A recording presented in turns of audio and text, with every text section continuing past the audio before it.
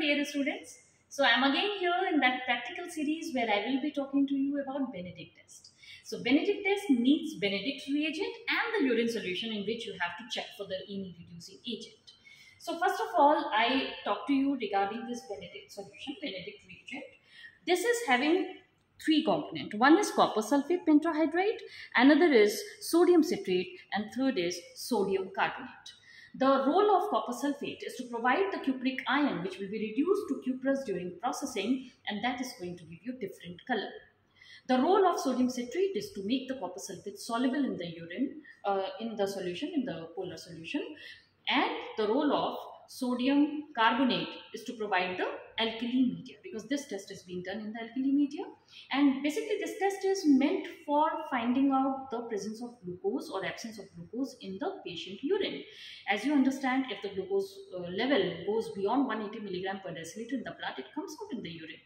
So that is the renal threshold for glucose. So diabetic patients who are having high amount of glucose in the blood will filter the glucose in the urine so by detecting the glucose in the urine, you understand that this patient is having more than 180 milligram per deciliter of glucose. Now let's see how this test is being done.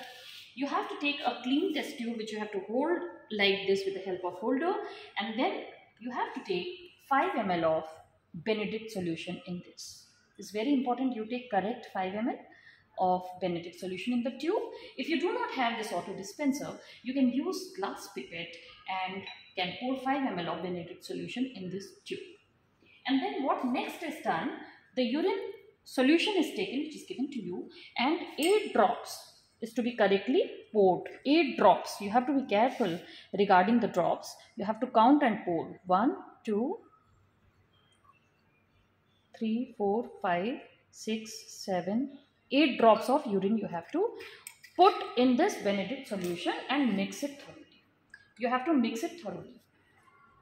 8 drops of urine for 5 ml of Benedict. If you are taking uh, 2.5 ml of Benedict, you can use 4 drops of urine. This is a semi-quantitative assessment because the color which is developed is going to tell you some rough estimate of the glucose which is excreted in the urine. So after mixing the tube, you have to heat it on dry heat for 2 minutes time, right? And then you have to cool it at room temperature and after cooling, you will observe whether the color is changed or not. So you can see any of this picture you uh, find uh, on heating the tube and cooling it later on, the solution color may not change. It shows you absence of any reducing sugar. It may show you green color, it may show, show you green color uh, precipitate, yellow color, uh, the uh, solution will turn yellow, the solution may turn orange or it may turn even the brick red. So these colors may develop and each color is telling you something.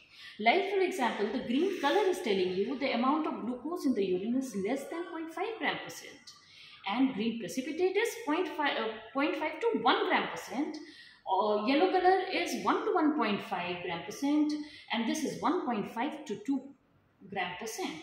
The orange color is 1.5 to 2 gram percent and the red color, brick red color is more than 2 gram percent of glucose in the urine. So this is how this is a semi-quantitative test where you have to take a calculated ratio. That is 5 ml of Benedict, you have to take 8 drops of urine and then the color after heating and cooling which is seen in the tube is denoting you the amount of, uh, you know, the reducing sugar in the urine most of the time we are doing this as I've told you for glucose but even the fructose will give you this test positive even the galactose will give you this test positive and certain disaccharides like lactose is going to give you this test positive. So if this test is positive, any of the color which is being developed, green, yellow, orange or red, you see that this test is positive. So that positivity may be because of any reducing sugar, even fructose is giving you. So benign fructosuria, you will have this test positive. Galactosemia, where you find galactose in the urine, this test is positive. Right? So it's not a very specific test for the glucose. So Benedict test is positive means some reducing sugar is there but what reducing sugar may be that uh, you have to assess by doing the enzymatic assessment right. So in nutshell this is the Benedict test and there are certain non-carbohydrate substances which are going to give you this test positive because they are also reducing in nature and uh, they are vitamin C, salicylates, penicillin, isoniazides, then urea, uric acid, creatinine, they all are going to give you this test positive. So you have to be very careful.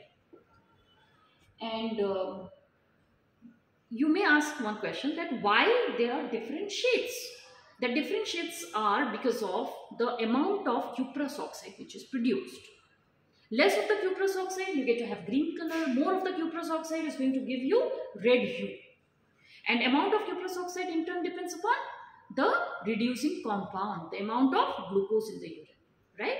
So if there are less glucose, it will give you green color, then this range will be there. And when there are so much of glucose, more than 2 gram percent, you get to have red color. So thank you very much. and if you have not subscribed my YouTube channel, please subscribe it now because I will be updating you uh, regarding various practical demonstrations. Thank you very much.